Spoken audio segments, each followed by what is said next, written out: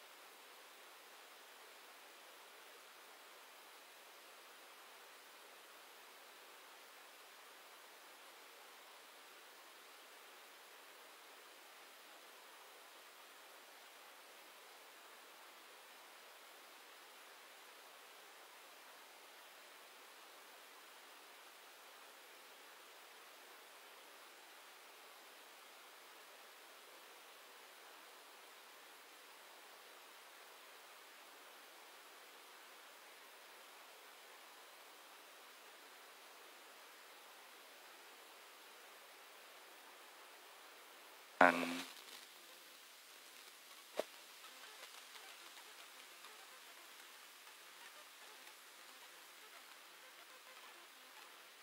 បពិតព្រះម្ចាស់ជាព្រះនៃបុព្វបុរសយើងខ្ញុំព្រះអង្គប្រោះឲ្យសន្តិហាណានិងសន្តយោអាគីមបង្កើតបុត្រីដែលនឹងទៅជាព្រះបិតានៃព្រះបុត្រាព្រះអង្គតាមពីអង្វររបស់លោកទាំងពីរ ពីរបស់ព្រះអង្គទទួលការសង្គ្រោះតាមព្រះបន្ទូលសន្យាផង យើងខ្ញុំសូមអង្វរព្រះអង្គដោយរួមជាមួយព្រះយេស៊ូវគ្រីស្ទជាព្រះបុត្រាព្រះអង្គនិងជាអម្ចាស់យើងខ្ញុំដែលទ្រង់មានព្រះជន្មគង់នៅឯសារីរួមជាមួយព្រះបិតានិងព្រះវិញ្ញាណដ៏វិសុទ្ធអស់កលជាងវែងតរៀងទៅអាមែន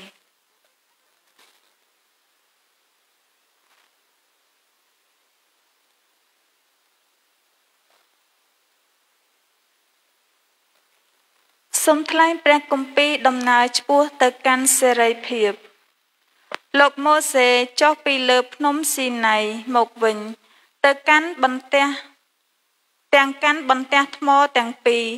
ជាសន្ធិសញ្ញាដែលមានចាអក្សរទាំងសងខាង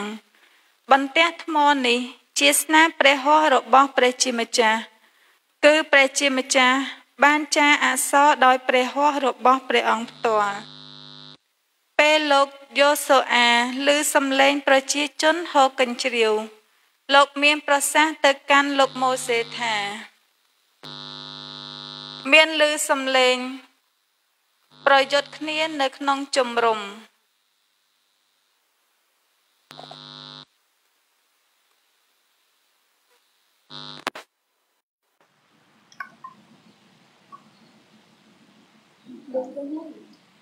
លឺហើយលោ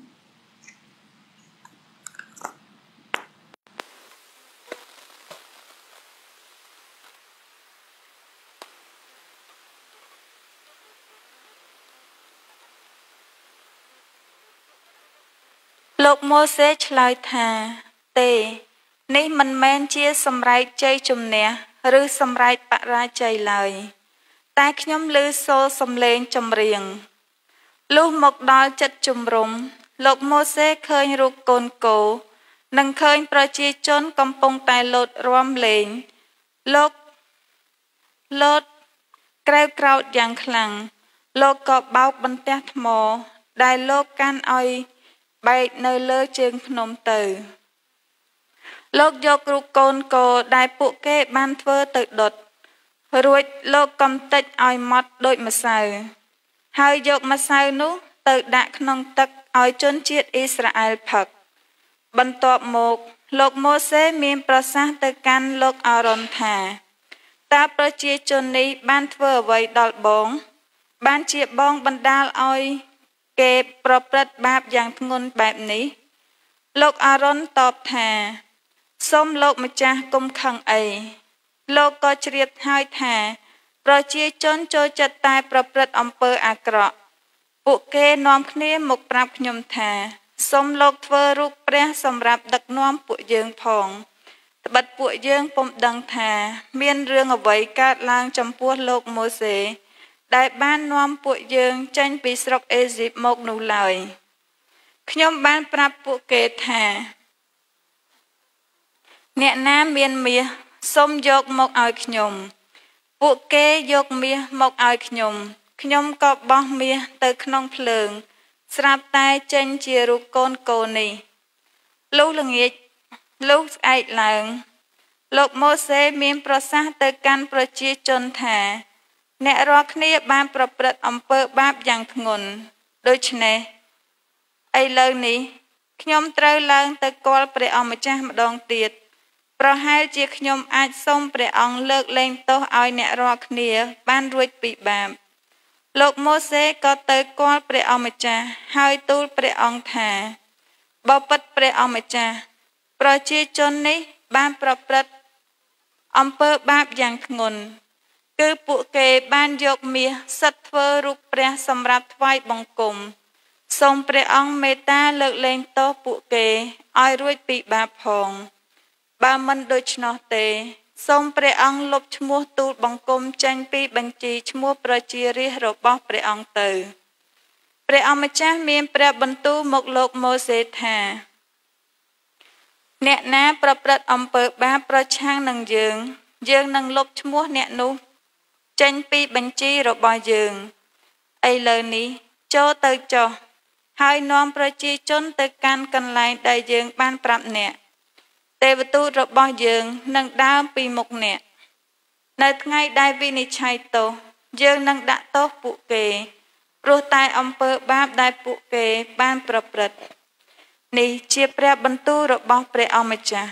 សូមអរព្រះគុណព្រះជាម្ចាស់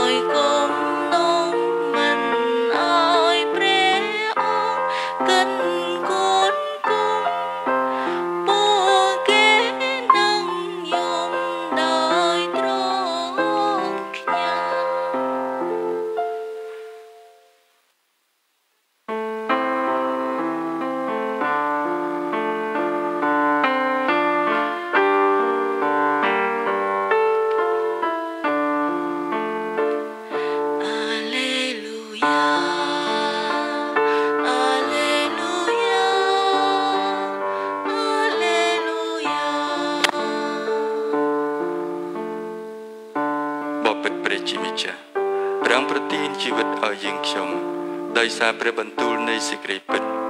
ព្រះអង្គត្រាស់ហៅយើងខ្ញុំមុនសត្វលោកទាំងឡាយដែលព្រះអង្គបង្កើតមក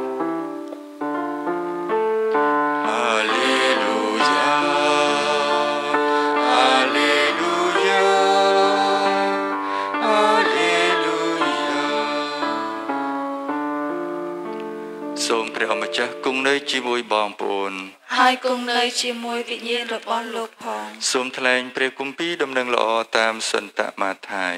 សូមលើដំការសេរីរុងរឿងរបស់ព្រះអម្ចាស់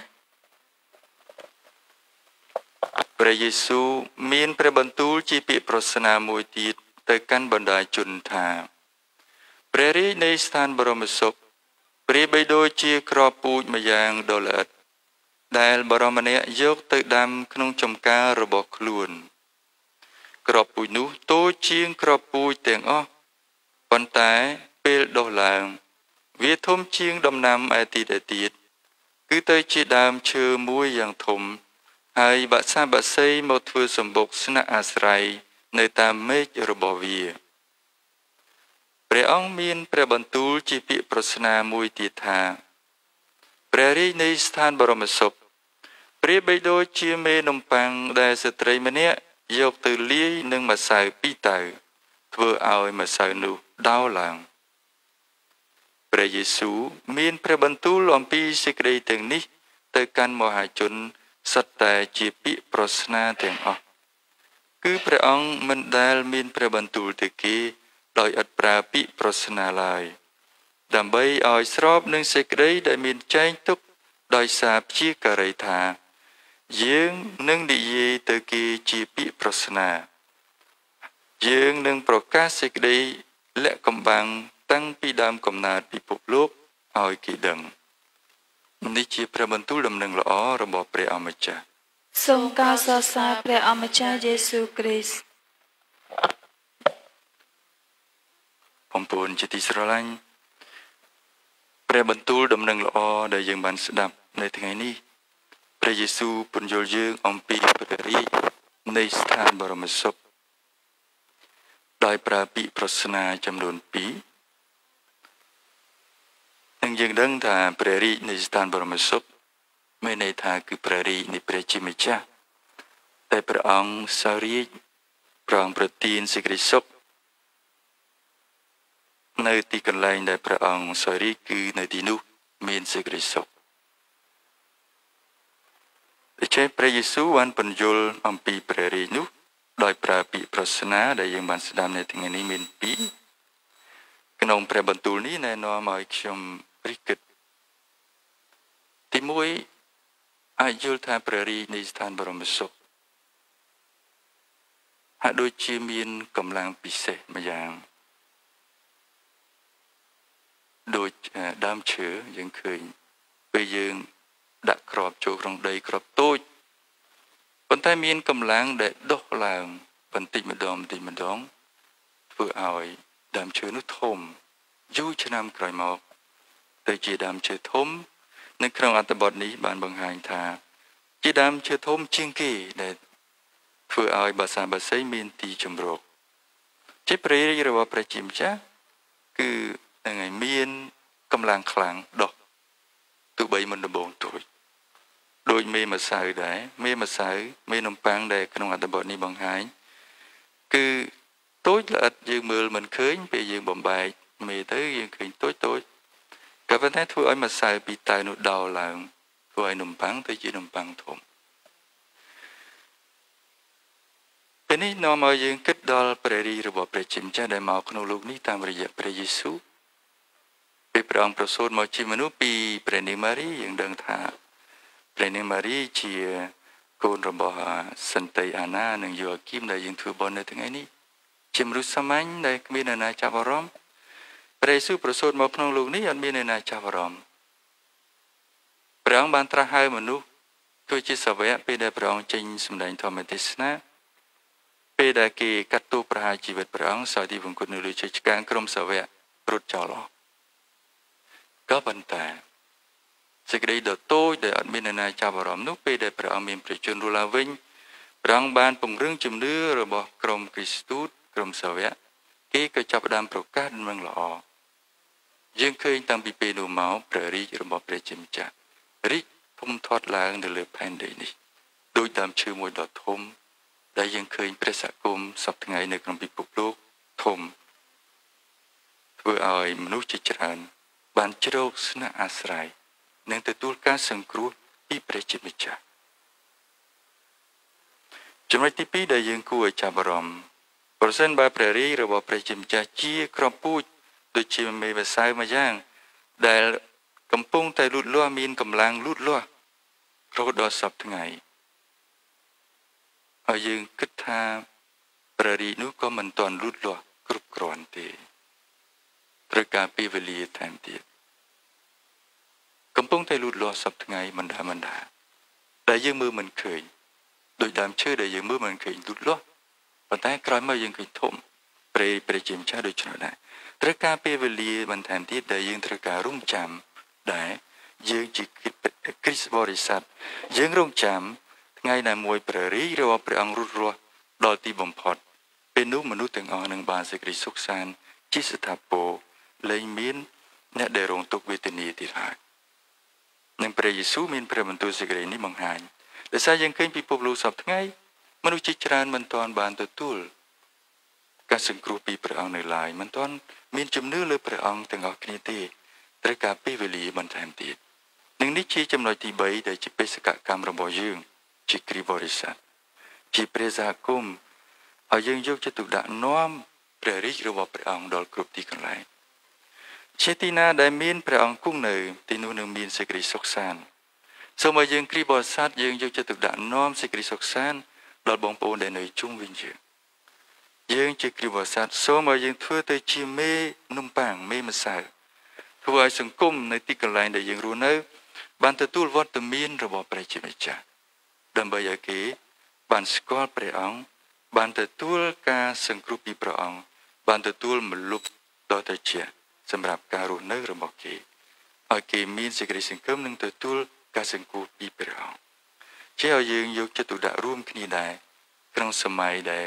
យើងប្រងគ្រោះដោយសារជំងឺរាតត្បាត COVID-19 ឲ្យយើងយកចិត្តទុកដាក់ការពារគ្នាទៅវិញទៅមក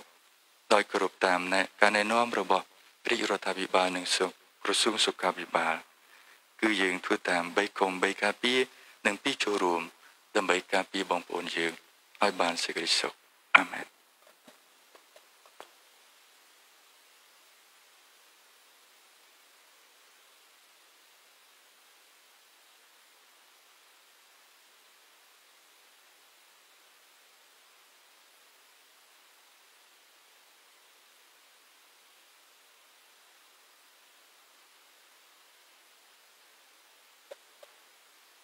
សិភៅចម្រៀងនៅទំព័រ165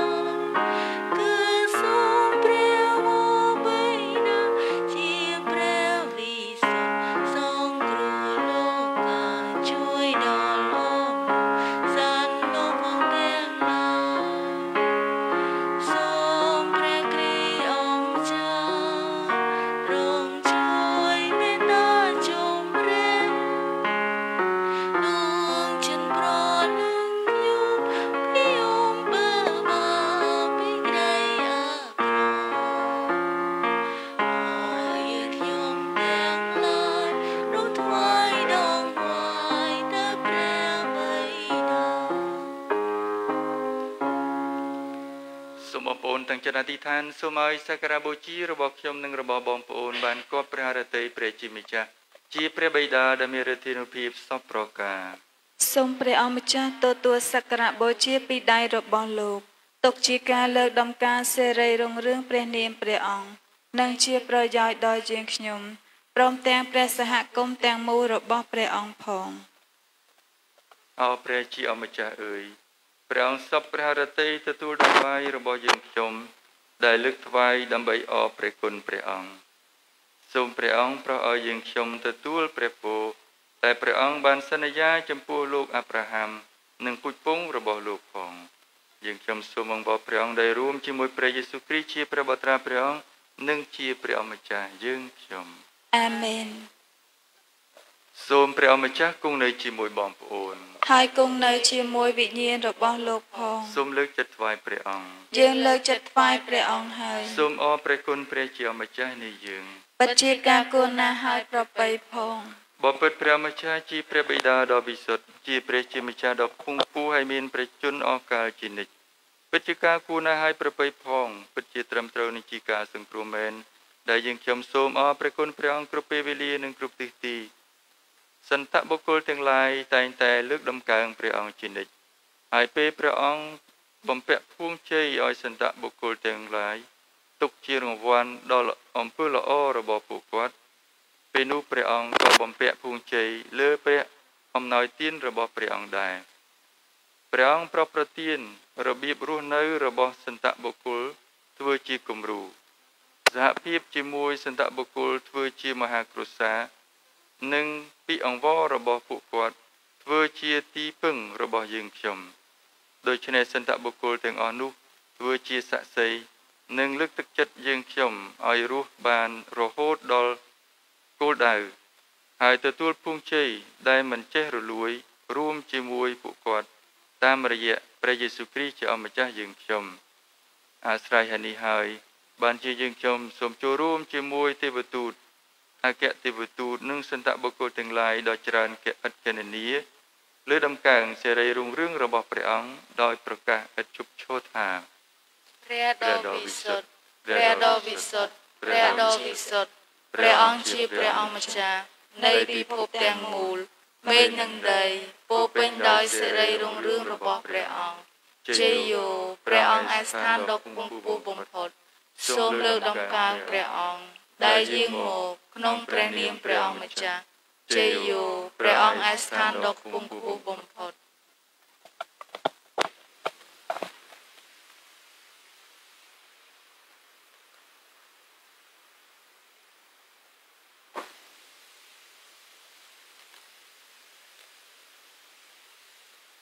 អោព្រះអម្ចាស់អើយព្រះអង្គពិតជាព្រះដ៏វិសុទ្ធ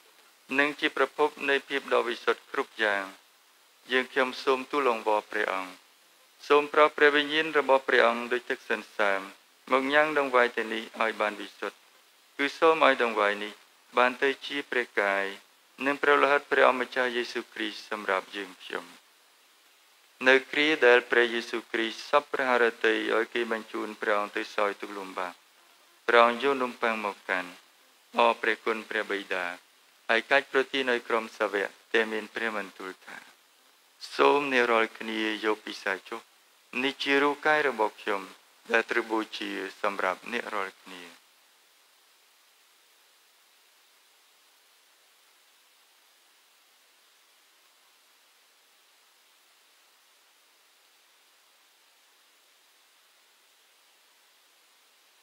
នៅពេលចុងក្រោយនៃពិធីជប់លៀងព្រះអង្គធ្វើតាមរបៀបដដែល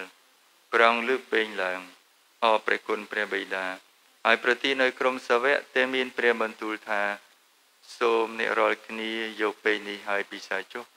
នេះជាលោហិតរបស់ខ្ញុំដែលចងសម្ព័ន្ធមេត្រីថ្មីនឹងគង់វង្សអកាលជានិច្ចហើយដែលត្រូវបង្ហូរដើម្បីលើកលែងទោសអ្នករាល់គ្នានិងមនុស្សច្រើនអត់កេណនីឲ្យរួចពីបាបសូមអ្នករាល់គ្នាធ្វើដូច្នេះដើម្បីនឹករលឹកដល់ខ្ញុំ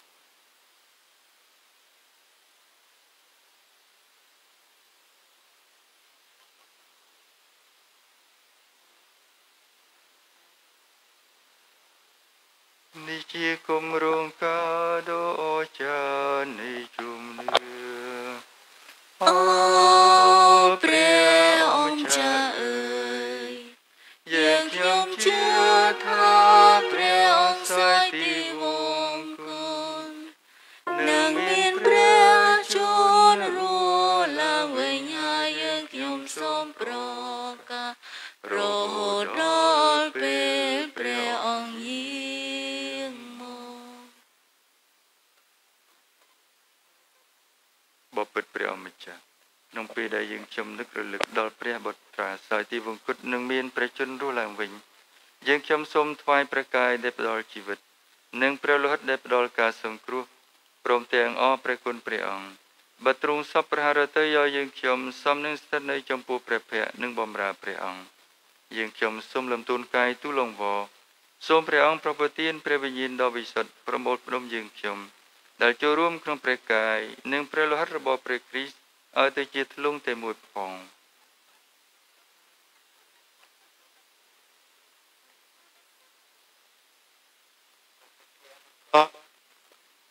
សូមព្រះអង្គនឹកដល់ព្រះសាគុណដែលមាននៅសពនលោកក្នុងពិភពលោកទាំងមូលសូមប្រោឲ្យព្រះសហគមន៍បានគ្រប់លក្ខណៈក្នុងសេចក្តីស្រឡាញ់រួមជាមួយសម្ដេចបបអៀងខ្ញុំព្រះនាង Francisco លោក Olivier ជាអភិបាលព្រះសហគមន៍អៀងខ្ញុំនិងអរលោកអ្នកដែលមានបន្ទុកដឹកនាំព្រះជារាយព្រះអង្គអរព្រះបិតាយើងខ្ញុំអើយសូមព្រះអង្គនឹកដល់ប្រងស្វាសុខាជាអ្នកបម្រើរបស់ព្រះអង្គ ដែលទ្រង់ត្រាស់ហៅឲ្យលេចាលោកនេះទៅឯព្រះអង្គកាលពីម្សិលមិញសូមព្រះអង្គប្រប្រណីដល់ប្រងស្វាសុខាបានរួមស្លាប់ជាមួយព្រះបុត្រាដែលសោយទីវង្គតសូមឲ្យគាត់បានរួមរស់ជាមួយព្រះបុត្រាដែលមានព្រះជន្មរស់ឡើងវិញផង សូមព្រះអង្គនឹកដល់អបបងប្អូននាងខ្ញុំដែលសម្រាប់លុដោយមានចិត្តសង្ឃឹមនិងរੂឡងពេញព្រមទាំងបុគ្គលទាំងអស់ដែលបានលីចាលោកនេះក្នុងទមេត្តាករុណារបស់ព្រះអង្គសូមព្រះអង្គប្រប្រទានឲ្យបុគ្គលទាំងនោះបានចូលក្នុងពន្លឺនៃព្រះព្រះអង្គសូមព្រះអង្គអនត្តសូយើងគ្នាទាំងអស់គ្នាបានទទួលជីវិតអកលជានិច្ចជាមួយព្រះនាងព្រហ្មចារិនីម៉ារីដែលពពេញដោយសពែមង្គលជាព្រះមេដារបស់ព្រះជាម្ចាស់ រួមជាមួយសន្តាយោសេបជាស្វាមីព្រះនាងជាមួយអស់គ្រីស្ទូសសន្តាអន្នានិងសន្តាយ៉ូហាគីមនិងអសន្តបុគ្គលនៅគ្រប់សម័យដែលគប់ព្រះហឫទ័យព្រះអង្គយើងខ្ញុំទាំងអស់គ្នាសូមកោតសរសើរនិងលើកដំកងសេរីរឹងរឹងរបស់ព្រះអង្គដោយរួមជាមួយព្រះយេស៊ូវគ្រីស្ទជាព្រះបុត្រាព្រះអង្គ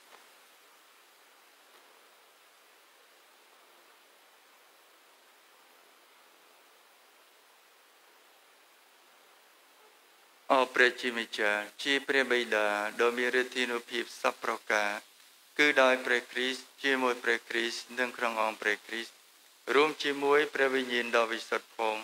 បានជាយើងខ្ញុំសូមលើដំកើងសេរីរុងរឿងរបស់ព្រះអង្គអរកាលជាងវែងតរៀងទៅ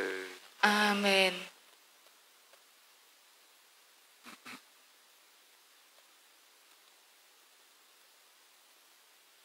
តាមដំបូន្មានរបស់ព្រះយេស៊ូវជាព្រះសង្គ្រោះនិងតាមការព្រានប្រដៅរបស់ព្រះអង្គយើងហ៊ានទូលថាអោព្រះបិតាយើងខ្ញុំដែលគង់នៅស្ថានបរមសុខអើយសូមសម្ដែងព្រះបារមីឲ្យមនុស្សលោកស្គាល់ព្រះនាមព្រះអង្គសូមឲ្យព្រះរាជព្រះអង្គបានមកដល់សូមឲ្យព្រះハរតីរបស់ព្រះអង្គបានសម្រេចនៅលើផែនដីដោយនៅស្ថានបរមសុខដែរសូមប្រទានអាហារ ដែលយើងខ្ញុំត្រូវការនៅថ្ងៃនេះសូមអត់ទោសឲ្យយើងខ្ញុំដោយយើងខ្ញុំអត់ទោសឲ្យអស់អ្នកដែលបានប្រព្រឹត្តខុសនឹងយើងខ្ញុំសូមកុំបណ្ដោយឲ្យយើងខ្ញុំចាញ់ការលបងឡើយតែសូមរំដោះយើងខ្ញុំឲ្យរួចពីមាកំណាចអរព្រះម្ចាស់អើយសូមប្រោយើងខ្ញុំឲ្យរួចពីសេចក្តីអាក្រក់គ្រប់យ៉ាងសូមឲ្យយើងខ្ញុំបានប្រកបដោយសេចក្តីសុខសាន្តក្នុងពេលរស់នៅសពថ្ងៃ ដោយសារធម៌មេត្តាករុណារបស់ព្រះអង្គសូមឲ្យយើងខ្ញុំរួចពីបាបជានិច្ចនិងផុតពីទុក្ខលំបាកទាំងឡាយយើងខ្ញុំទន្ទឹងរង់ចាំសុភមង្គលតាមសេចក្តីសង្ឃឹមរបស់យើងខ្ញុំគឺជាថ្ងៃដែលព្រះយេស៊ូវគ្រីស្ទជាព្រះសង្គ្រោះទ្រង់យាងមកបិទព្រះអង្គគ្រងរាជទ្រង់មានឫទ្ធានុភាព និងសិរីរុងរឿងអកលជាអង្វែងតរៀងទៅអរព្រះម្ចាស់យេស៊ូវគ្រីស្ទអើយព្រះអង្គមានព្រះបន្ទូលទៅកាន់ក្រុមគ្រីស្ទូតថា ខ្ញុំទុកសេចក្តីសុខសាន្តឲ្យអ្នករាល់គ្នាខ្ញុំផ្ដល់សេចក្តីសុខសាន្តរបស់ខ្ញុំឲ្យអ្នករាល់គ្នាសូមព្រះអង្គគុំប្រកាន់ទោសរបស់យើងខ្ញុំឡើយតែសូមទ្រង់ឆ្វេងយល់នៅជំនឿរបស់ព្រះសហគមន៍ព្រះអង្គវិញសូមព្រះអង្គសពព្រះハរតីប្រទានឲ្យព្រះសហគមន៍បានប្រកបដោយសេចក្តីសុខសាន្តនិងបានមូលផ្ដុំគ្នាជាទ្រង់តែមួយព្រះអង្គមានព្រះជន្មគង់នៅនឹងសារីកអកាលជាងវែងតរៀងទៅអាមែន សូមឲ្យសេចក្តីសុខសាន្តរបស់ព្រះម្ចាស់គង់នៅជាមួយបងប្អូនហើយគង់នៅជាមួយវិញ្ញាណរបស់លោកផងសូមបងប្អូនជូនសេចក្តីសុខសាន្តចំពោះគ្នាទៅវិញទៅមក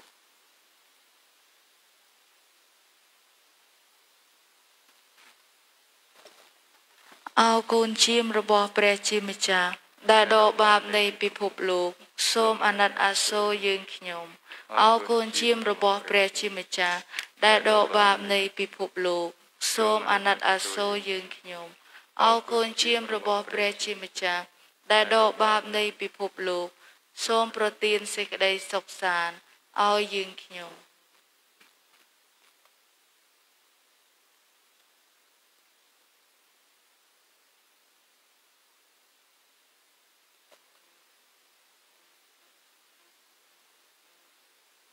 នេះជាកូនជាមរបស់ព្រះជាម្ចាស់នេះជាព្រះអង្គដែលដកបាបនៃពិភពលោក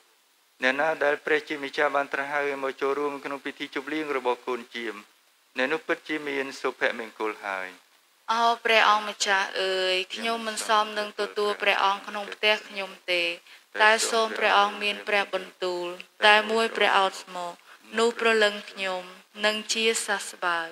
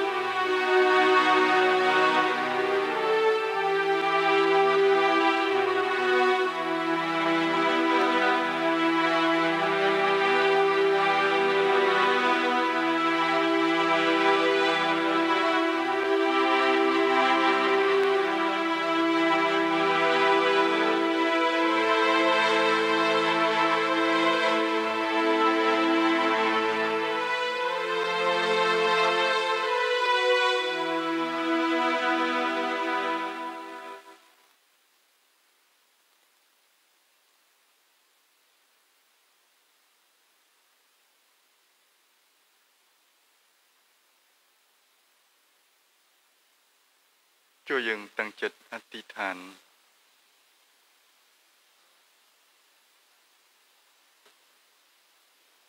អោព្រះជាម្ចាស់អើយតាមគម្រោងការដ៏អស្ចារ្យព្រះអង្គសពព្រះハរតីឲ្យព្រះបត្រាតែមួយរបស់ព្រះអង្គប្រសូតក្នុងចំណោមមនុស្សលោក ដើម្បីឲ្យមនុស្សលោកកើតជាថ្មីពីព្រះអង្គ សូមព្រះអង្គមេត្តាប្រោសឲ្យអស់អ្នកដែលទទួលព្រះកាយព្រះគ្រីស្ទបានទៅជាបុត្រធីតារបស់ព្រះអង្គផងយើងខ្ញុំសូមអង្វរព្រះអង្គតែរួមជាមួយព្រះយេស៊ូវគ្រីស្ទជាព្រះបុត្រាព្រះអង្គនិងជាព្រះអម្ចាស់យើងខ្ញុំអាមែន